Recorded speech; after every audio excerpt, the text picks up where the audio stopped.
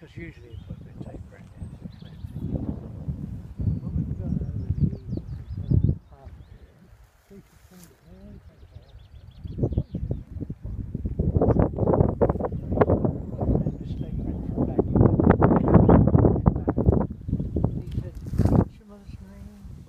I have never heard anything like it in my life. You talk about questions.